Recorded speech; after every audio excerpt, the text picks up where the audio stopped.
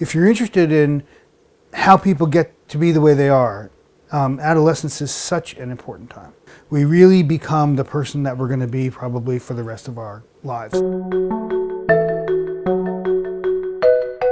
I'm a developmental psychologist. I specialize in adolescence.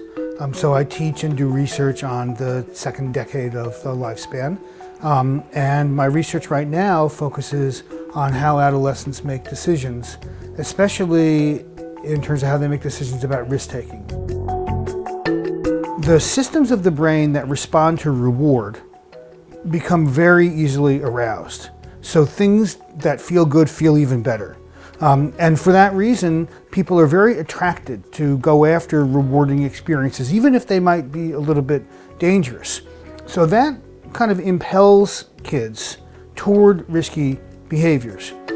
A lot of my interest in adolescent risk taking and decision making grew out of a project I was involved in that, that looked at juvenile justice policy and practice. And during the last decade, the US Supreme Court has considered three landmark cases involving juvenile crime, um, probably the most important of which was um, a, a case involving the constitutionality of the juvenile death penalty.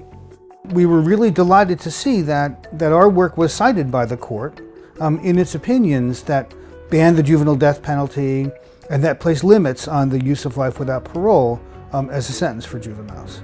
Adolescents are different from adults in ways that make them less responsible for their behavior. They're more impulsive, they're more short-sighted, they're more easily influenced by their peers. So we developed a, a, video driving game that we call Stoplight, where you're trying to get someplace in a hurry, you approach an intersection, the light turns yellow, and you make a decision about whether you're going to try to run it or not.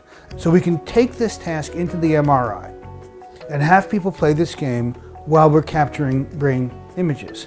Um, and what we have found is first, adolescents take many more risks when they're doing this task in front of their friends than when they're doing it by themselves. I'm good, man. Good luck in there. We're going to be watching you. But second, when adolescents are doing the driving game, playing stoplight, with their friends watching, parts of their brain that get excited by the prospect of a reward are lighting up. They're being activated. And we have shown that the extent to which the brain lights up during this task predicts how much risk-taking you engage in. So if we could get kids to stop doing things that put themselves um, in jeopardy, we could really improve the health of American young people.